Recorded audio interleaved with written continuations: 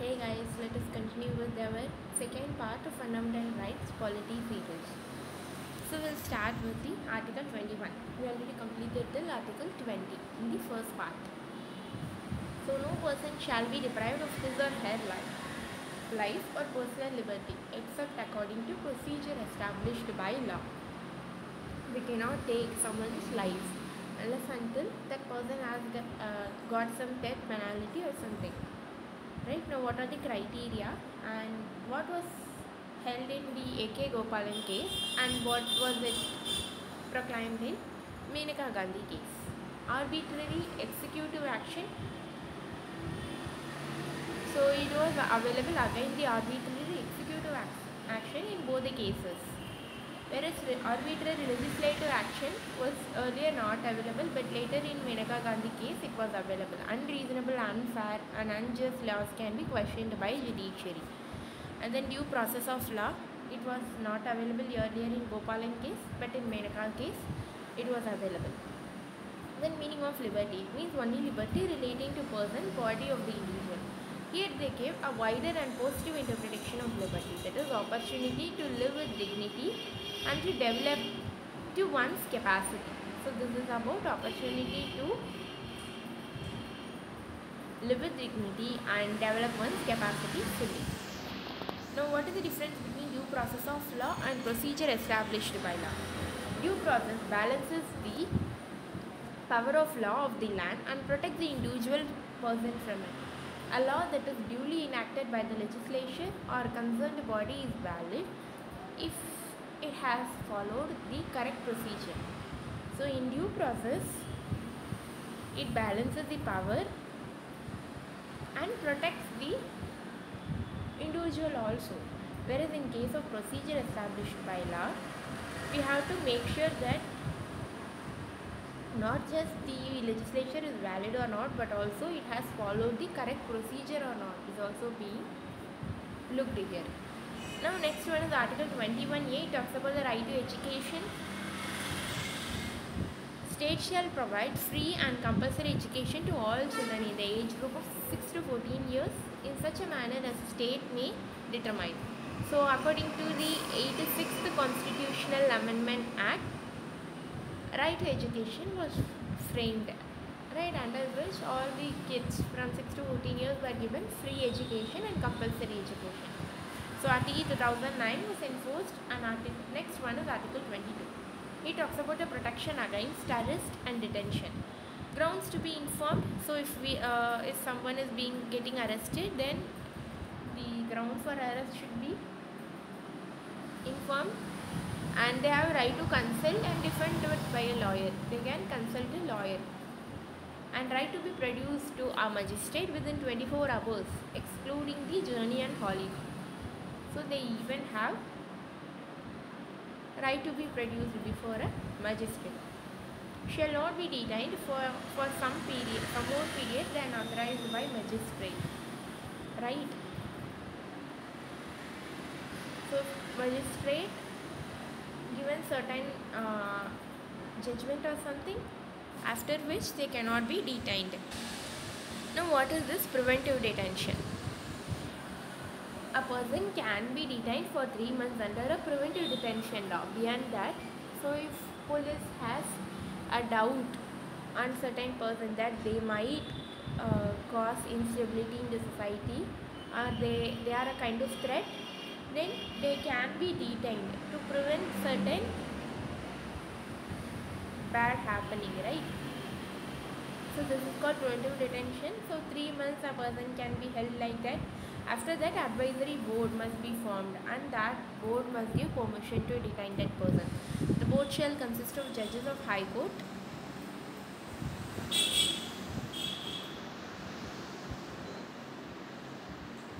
And Parliament by law increase the period of preventive detention for more than three months without obtaining opinion of advisory board.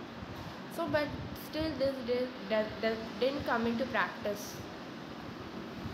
So, Parliament by law they extended the period about three three months. Then legislative power with regard to preventive detention is divided between the Parliament and state legislature. Both of them can do so. Now, right against exploitation. Article 23 and 24. 23 talks about prohibition of traffic in human being and forced labor. It's available against state and private citizen. So state can impose compulsory service for public purposes without any discrimination on the ground only on religion, race, caste and class. So RRCC. Someone cannot be like state cannot impo- im- impose compulsory service. So sorry, state can impose compulsory service without discrimination on certain grounds like religion, race, caste and class. This is called prevention of traffic in human being and forced labor. And Article 24 talks about prohibit employment of children below the age of 14 in hazardous industry. So it does not prohibit child labor in non-hazardous industry. So children can be employed in non-hazardous industry and family occupation like that particular family has a store or something but children can help their parents. So child labor protection and regulation act 2016 it prohibit all kind of employment of children below 14 years. 14 to 18 year children in hazardous industry. Now the next one is right to freedom of religion article 25 to 28 article 25 talk about freedom of conscience freedom to profess practice and propagate religion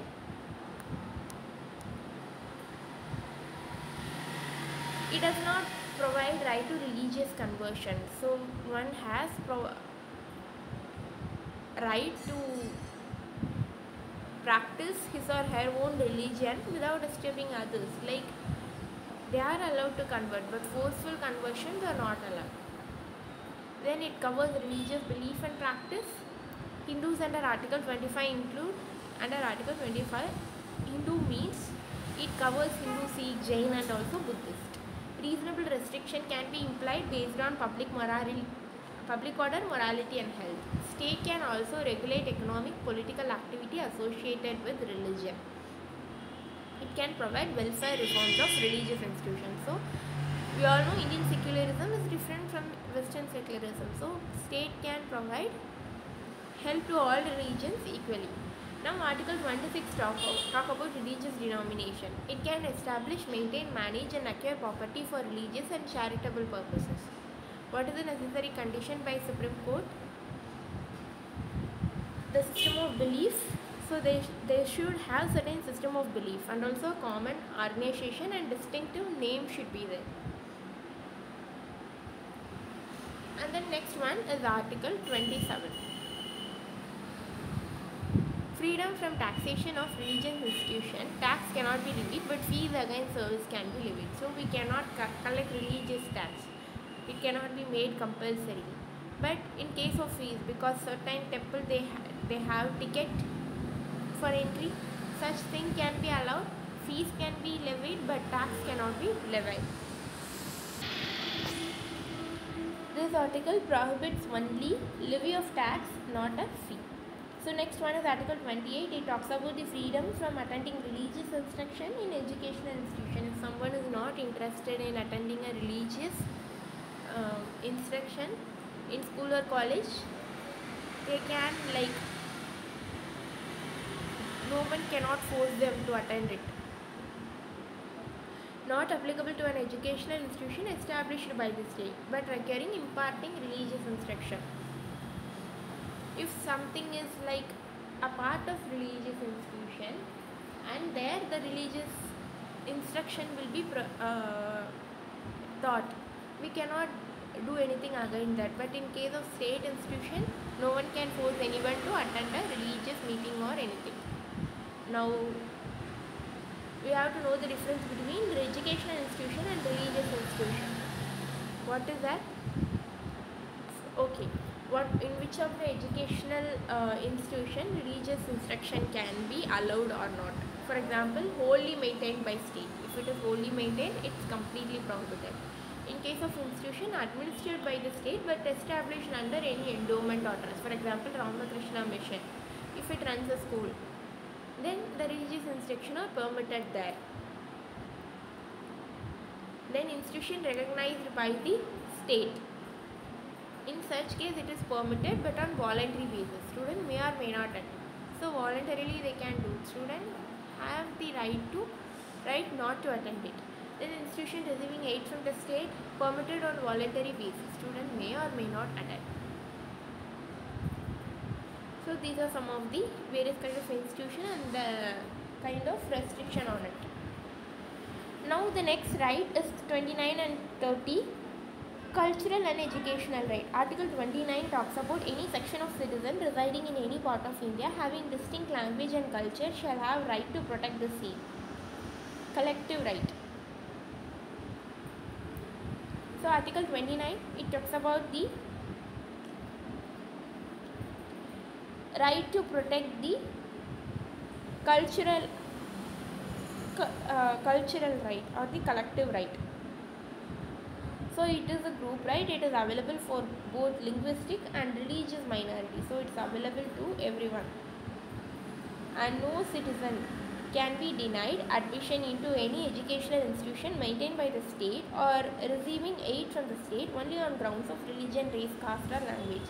If someone is not having enough mark or based on merit if someone is given admission or not given admission which is okay but if you are giving not giving admission to uh, a kid because of religion or race then it is a crime.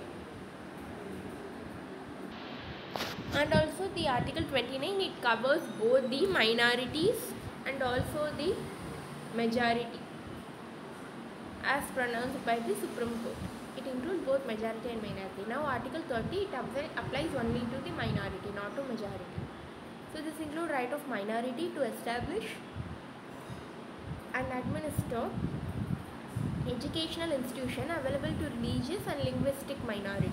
So they can establish their own educational institution. These institution enjoy right to property reservation for obc that is as per the 93rd amendment it does not apply to these institutions. We already saw obc reservation applies to all private institution also but does not include the minority institution right? It is applicable only to minority institution so minority institution alone can seek an exception. And then article 32 it talks about right to constitutional remedy.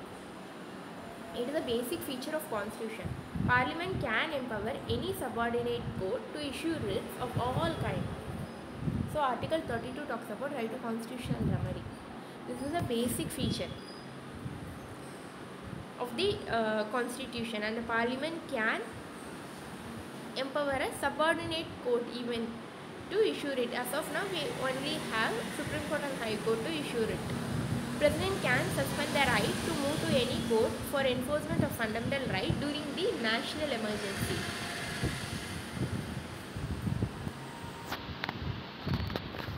and then Dr. B.R. Ambedkar, he, he called the right to constitutional remedy as the soul and heart of the constitution. And rights can be issued by both SC and HC to enforce fundamental right, HC under Article 226 and Supreme Court under Article 32. Now, what are the writs? Its meaning locus standi and against whom. So, locus standi is that a person here himself who is affected here himself has to file a suit or case which is called locus standi. Habeas corpus, of course, the person is lost, so other person only has to issue it, so it does not apply. Locus standi does not apply. It means show me the body of other, find a missing people. Someone is missing, and if you have some doubt on the executives itself, we can give habeas corpus. Private citizen or public authority, it can be issued against both. Now, ma- mandamus, meaning we command to get the job done by an authority. It applies. That is only the affected person can issue case. Right? It is available only against a public official. Prohibition, it means forbidding or to stop the lower court proceeding further in the case of their jurisdiction. So, Supreme Court or High Court, they can prohibit the lower court. So it applies only uh, the locus standi applies and then judicial and quasi judicial bodies are only covered in this. Then certiorari to be certified or to be informed or transfer a case due to excess of lower court jurisdiction which is called certiorari meaning to be certified. Again locus standi applies. These also issued only for judicial and quasi judicial bodies and then quo warranto, by what authority or prevent unqualified people taking office. If someone without any qualification taking a public office, then that can be prevented by quo warranto.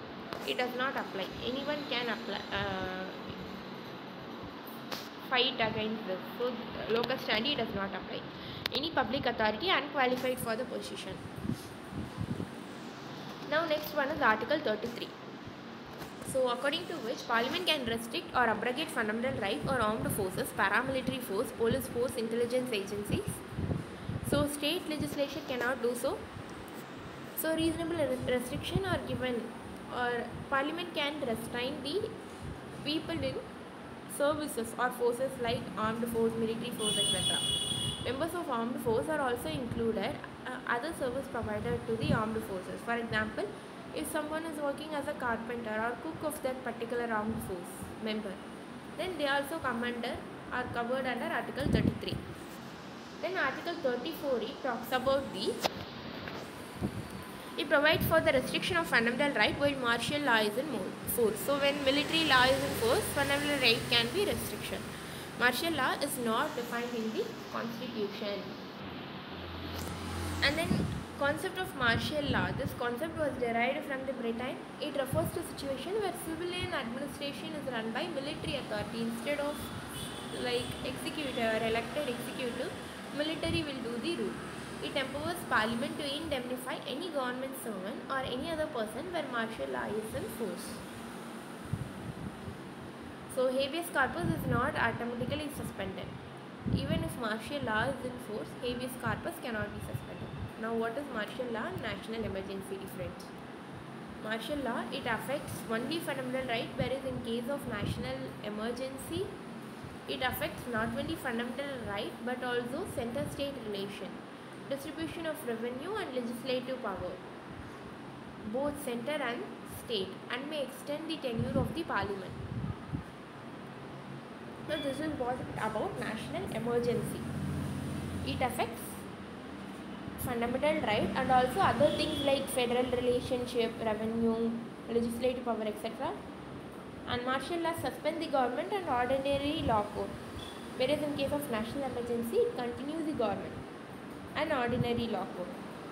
It is imposed to restore the breakdown of law, law and order due to any reason. It can be imposed only on three grounds. What are they? War, external aggression, armed rebellion and then it is imposed in some specific area of the country. It can be imposed only in a specific area, but this can be imposed either in whole country or part of it also allowed. It has no specific provision in the constitution, so it is not mentioned in constitution. It has specific and detailed provision in the constitution. It is explicit, whereas martial law is implicit. Article 35 it talks about the parliament not only has power to make law to give parliament sorry parliament only has power to make law to give effect to certain fundamental right ensures uniformity. So in case of state also given equal power then each state will have different kind of rights right? So parliament only has power to make law. So residence can be made a criteria for public employment so this is an exception under article 16 only parliament can do so. Then to empower court and other supreme court and high court to issue writ orders direction for enforcement of fundamental right under article 32 under 32 it can even allow certain lower court to issue writ. Parliament. Then to make law to take away fundamental right for armed forces paramilitary and police. They can take away the fundamental right of certain forces under article 33 then 30, 34 indemnify the act of government servant during martial law And then Parliament can also make law for punishment of offence declared under fundamental right. Example, untouchability, trafficking, for which Parliament can enact separate law also. The article extends for competence of Parliament to make laws on few matters specified in state list. Status of right to property was repealed by 44th Amendment Act. Now it is legal right under Article 308A. We already saw this. Now we have only six fundamental right because right to property was made a legal right. Right to property earlier it was in Article 19 access for minority educational institutions. So still the right to property right is available for minority institution. In case of minority institution, government is getting their property, then government has to provide proper compensation. Now there are certain exceptions to fundamental right. What are they? Article 31A. It prohibits five category of law from being invalidated for violation of Article 14 and 19. So five categories of law can be made inv- invalidated if it violates 14 and 19. So all these things are covered in Article 31E. They are related to land reform, industry and commerce and include acquisition of state, management of property, amalgamation of corporation, modification of right of director and shareholder, then modification of mining leases. So under these provision, under the five category, they are being invalidated if it violates Article 1419, land reform to acquisition of state and management of property to modification of mining lease. It does not emanate state from state law from judicial review unless reserved. Received president assert for reservation. So even state laws does not get exception from judicial review until and unless they got president assent. Now Article 31b talks about it saves act and regulation placed in 9th schedule from judicial review. If certain laws are placed in 9th schedule, it cannot be interfered by the court. In IR Coelho case, the Supreme Court stated that laws placed in 9th schedule after 24th April 1973 comes are, are open to challenge in court. Article 14, 15, 19, 21 and basic section. So in the IR Coelho case, Supreme Court held that the uh, things which are placed in the 9th schedule after 24th April 1973 can be questioned by the court because the judicial review is the basic structure and the court cannot stop it. Judicial review was part of basic structure. Article 31C. It is brought by the 25th Amendment Act 1971. It states that Article 39B and 39C can override Article 14 and 19. So, in case of giving priority, Article 39 and B and 39C can be given priority over Article 14 and C, 14 and 19. This has been pronounced in Article 31C. So, what are the rights? So, these are some of the uh, fundamental rights from Article 14 to 35. Now, what are the rights available outside Part 3? They are not fundamental right, but still they are the constitutionally guaranteed legal right. What are they? Article 265. No tax can be levied or collected except by authority of law. Only government has power to issue or get law tax. And then Article 300A it talks about right to property. Article 301 it talks about the trade, commerce and intercourse throughout the territory of India and then article 326 it talks about the right to vote. And note that article 226 high court have writ jurisdiction of these rights. So fundamental right chapters broad points. All the important broad points have been covered. Now we will cover the next topic which is fundamental duty. So fundamental duties are given under article 51a part 4a Part 4 talks about DPSP. After that, we have fundamental duty under Part 4A. What is the source? USSR. So, Swaran Singh Committee 1976 recommended 8 fundamental duty. Then finally we uh, took 10 fundamental duty and one more fundamental duty was added later during an amendment. So 42nd Amendment included 10 fundamental duty in the Constitution. What are the features of fundamental duty? Some were moral and some were civil, confined only to citizens, and they are non-justiciable. Now we look into the list of fundamental duty. First, to abide with the Constitution, respect its ideals and institutions, to cherish and follow the noble ideals, to uphold and protect the sovereignty, unity, and integrity, to defend the nation, to promote harmony and spirit, to value and preserve the rich heritage, to protect the natural environment, to develop scientific temper, safeguard public property, excellence in all spheres of individual and collective activity, providing opportunity for education of children in the age group of 6 to 14 years. So this was the 11th fundamental duty which was later included by 86th Amendment Act. Earlier all the 10 were included in 42nd Amendment. This 11th one was introduced after the RTE Act. Remember these and observe the fundamental duty that overlap with DPSP. So this is for comparison. We have to compare it with DPSP and we must remember them. So that's all in fundamental duty. Now we also will also look about the amendment of the constitution. So amendment of the constitution can be done under article 368 part 20. Now what is the source of amendment of the constitution? So we took this particular aspect from south africa. Parliament have authority to amend the constitution. Article 368 gives procedure and power to amend the constitution bill can be introduced either in the house of lok sabha or rajya sabha but not in state legislation to bring uniformity we have not allowed state to amend the constitution and it can be introduced by the ministers or even private member can initiate an amendment suggestion. No need of prior permission of president. Bill must be passed by each house by a special majority. Since it is constitutional amendment, special majority is needed. Each house must pass a bill separately. To amend federal provision, in case of federal provision, that is if it, affects state also, then half of the state legislature assembly must ratify with simple majority. In case of USA, as we already saw, three-fourth ratification is needed. But in case of India, half of the state need to justify or ratify it by simple majority. And the president must give assent to the bill.